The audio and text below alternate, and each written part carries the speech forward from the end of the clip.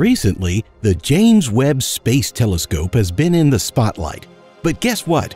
The most distant human-made object, NASA's Voyager 1 spacecraft, which is currently traveling in interstellar space, has diverted our attention to itself by sending some mysterious signals to Earth. This probe is sailing the uncharted waters of the cosmic sea, and it's brought us along for the journey. Even after about a half century from its launch, it's out in the deep, dark recesses of the solar system, still operating.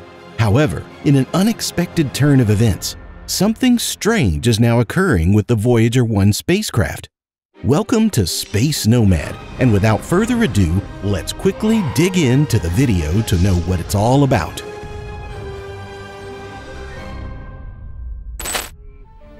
Two, one.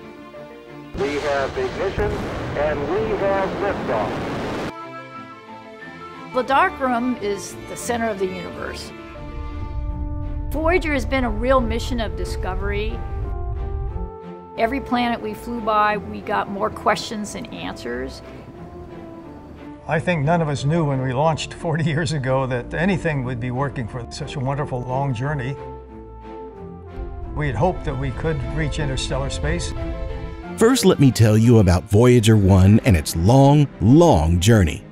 Voyager 1 is a space probe launched by NASA on September 5, 1977, as part of the Voyager program to explore the outer planets in our solar system and interstellar space beyond the Sun's heliosphere. Launched 16 days after its twin, Voyager 2, Voyager 1 has been operating for over 45 years now. Voyager 1 was the second of the twin spacecraft to launch, but it was the first to race by Jupiter and Saturn. The images sent back by Voyager 1 have been used in school books and by many media outlets for a generation. The probe made flybys of Jupiter, Saturn, and Saturn's largest moon, Titan. The trailblazing craft left our solar system and entered interstellar space in 2012. The spacecraft also carries a special record, the Golden Record, that's designed to carry different languages, sounds, and music from Earth out into the cosmos. Probably with the vision that if ever the probe was encountered by any extraterrestrials in interstellar space, they would have a sweet little introduction of us humans here on Earth.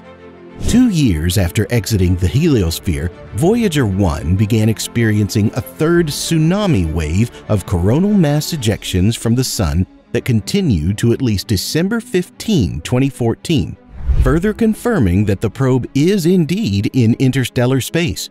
Not to mention that both Voyager probes have been doing huge overtime and were never meant to operate this long. Voyager 1 has remained operational long past expectations and continues to send information about its journeys back to Earth. It is 154 astronomical units away from us which is 14.6 billion miles. That makes it the most distant human-made object. While Voyager 1 is still operating properly, scientists on the mission recently noticed that it appeared confused about its location in space without going into safe mode or otherwise sounding an alarm. Here we are talking about interstellar space, a high radiation environment that no spacecraft have flown in before. The main theory of what the culprit might be are failing circuitry within the onboard electronics. Or could this be some effects on the spacecraft from cosmic radiation from this unknown part of the outer solar system? If the electronics were to fail, the craft would send us some fault detection signals, but that is not what is going on. NASA said that the glitch has to do with Voyager 1's Attitude Articulation and Control System, or AACS, which keeps the spacecraft and its antenna in the proper orientation. And the AACS seems to be working just fine, since the spacecraft is receiving commands, acting on them, and sending science data back to Earth with the same signal strength as usual. Nevertheless, the AACS is sending the spacecraft's handlers junk telemetry data. Well, the team has located the source of the garbled information.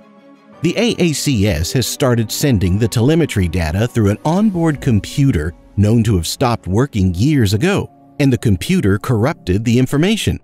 Once engineers began to suspect Voyager 1 was using a dead computer, they simply sent a command to the probe so its AACS system would use the right computer to phone home.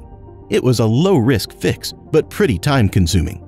It takes a radio signal nearly 22 hours to reach Voyager 1, so the call and response of one message between NASA and Voyager takes about two days. After months of sending junk data about its health to flight controllers on Earth, it has once again started beaming back clear telemetry data on its status beyond our solar system. Engineers have repaired the issue affecting data from the spacecraft, though they don't yet know why the AACS started routing telemetry data to the incorrect computer, but it likely received a faulty command generated by another onboard computer. If that's the case, it would indicate that there's an issue somewhere else on the spacecraft. The team will continue to search for that underlying issue, but they don't think it's a threat to the long-term health of Voyager 1. A full memory readout of the AACS would be conducted to look at everything it's been doing. That will help the scientists to diagnose the problem that caused the telemetry issue in the first place. So being cautiously optimistic, still more investigation needs to be done. Voyager 1's extended mission is expected to continue until about 2025, when its radioisotope thermoelectric generators, RTGs, will no longer supply enough electric power to operate its scientific instruments.